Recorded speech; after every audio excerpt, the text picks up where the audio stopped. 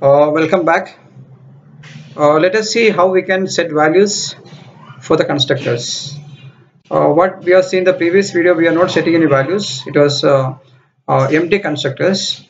But uh, sometimes even the empty constructors, we, which is going to play an important role. Let us see how this is going to happen. we have, you know, as you could see, we have a class called distance, and this is our constructor for that and your distance class which ends here this is a starting point for that. And this is a, a place we uh, you know define uh, the constructor. So we are going to set i feet equal 0 and f inches is equal to 0 0.0 so we are going to set certain uh, values using our own constructor. Look at uh, the main program uh, void main distance d1 now what happens? As I told the previous video when you create an object of any class what happened? The constructor is being called. So this constructor when you create object uh, this is a constructor is being called. And what it does which is going to set i feet is equal to 0 and f is equal to 0 0.0 0 point. so finally what we get is uh, so which is this statement is going to set the values for that and you are going to print d1 dot get feet. So get feet we have uh, set it as 0 and i feet is again we set it as 0 we are going to get it uh, get feet and get inches. So which is 0 and 0 0.0 so we got it. So what is uh, the sole purpose of this? So this uh, in this program the use of uh, constructor is to set the values. Let us see what else the constructor can do it. Uh, so if you want you can have a constructor with uh, parameters. So this also we have seen in the java part so constructor takes argument and can therefore be overloaded. So let us see an example for this. So we have a class called distance. Again uh, this is same as our uh, previous class. Distance is my constructor and uh, distance this is a constructor without any parameter and this is again a constructor with uh, which takes two parameters. So if you want, you can have any number of uh, constructor in your class. Look at this. This is a place where I define my second constructor.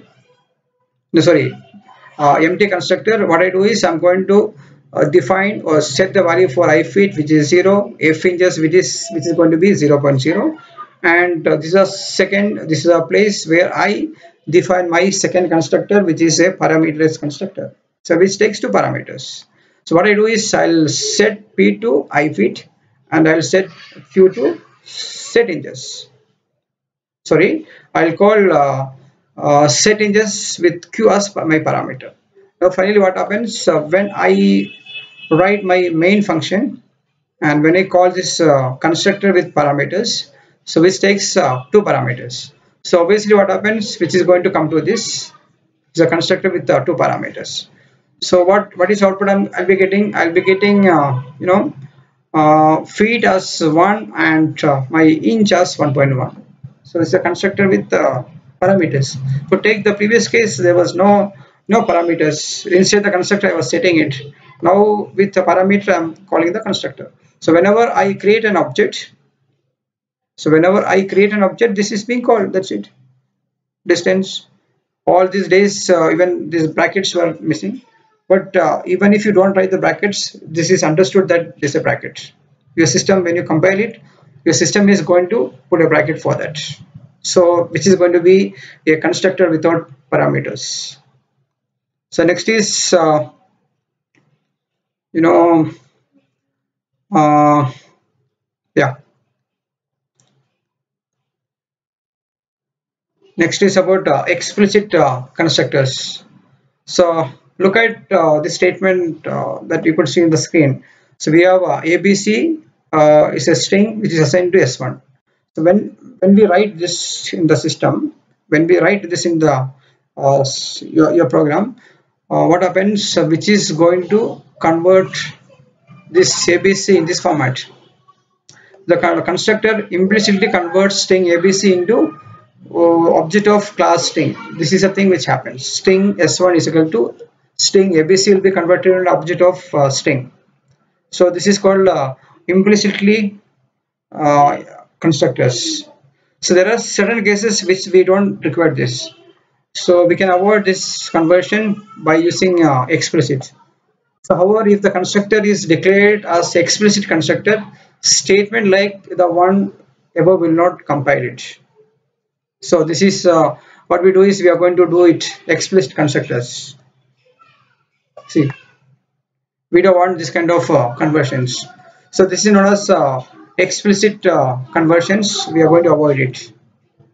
Uh, next is about the copy constructor. So copy constructor is a special type of uh, parameterized constructor. As its name implies it copies one objective to another one. So look at uh, the statement here. So we have an object called a1 and uh, a1 is copied to an object of no object called a2 so this is a copy constructor so this is or uh, this is another way of writing it. A1 will get copied to a2 so in fact in turn this will be converted into this format. This we have seen in the previous uh, classes. So this is all about uh, the constructors. Uh, so I repeat uh, what is a constructor? Constructor is the one which have the same name as the class name which does not uh, return any value which may have parameters or may not have parameters and please do remember which does not have any return type. Thank you. Have a nice day.